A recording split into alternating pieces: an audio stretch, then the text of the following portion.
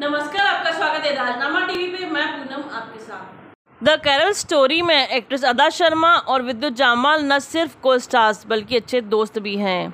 दोनों की दोस्ती कई मौके पर देखने को मिली है। अब दोनों का एक पुराना वीडियो वायरल हो रहा है। फ़िल्म द कैरल स्टोरी में actress Adah Sharma lead role में नज़र आई। इस फ़िल्म के बाद से एक्ट्रेस घर घर में फ़ेमस हो गई।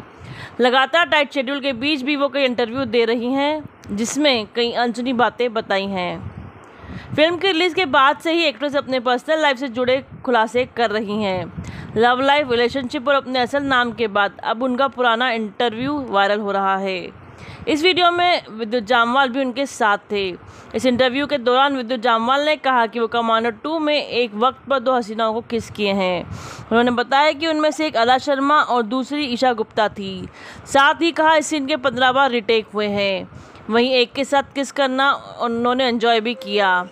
अदा शर्मा विद्युत की बातें सुनकर खामोश रही और कुछ भी रिएक्ट करने से बचती नज़र आई। वहीं विद्युत खुलकर इस पर अपनी बात रखी। बता दें, अदा शर्मा विद्युत की दोस्ती काफ़ी करीब है। दोनों को अक्सर कई बार एक साथ स्पॉट किया गया है। विद्युत ने एक्ट्रेस की द स्टोरी में एक्टिंग के लिए तारीफ़ की और वह फ़िल्म को कई प्लेटफॉर्म्स पर प्रमोट करते नज़र आए। एक्ट्रेस भी कई बार बता चुकी है कि वो एक्टर विद्युत जामवाल के काफ़ी करीब है। वो उनके लिए परिवार से भी ज़्यादा करीब है। वैसे एक्ट्रेस ने अपना प्यार का नाम उजागर नहीं किया। अब ऐसे में फैंस के पास गैस करने के सिवा कोई और चारा नहीं है। इसी के साथ बने रहे राजनामा टीवी के साथ। धन्यवाद।